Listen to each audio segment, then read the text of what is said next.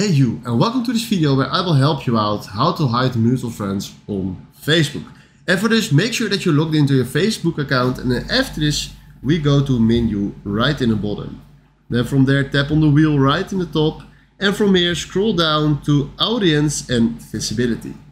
Then from here tap on how people can find and contact you and then make sure that you change the option who can see your friends list tap on the public and then change it to only me and after this we solve the problem.